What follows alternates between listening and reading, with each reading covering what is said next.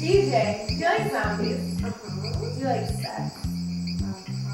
How do you feel about violence? Oh. oh. Well, then you are going to love Blood Orgy at Beaver Lake. Beaver Lake Zombies 3 three, coming out this fall.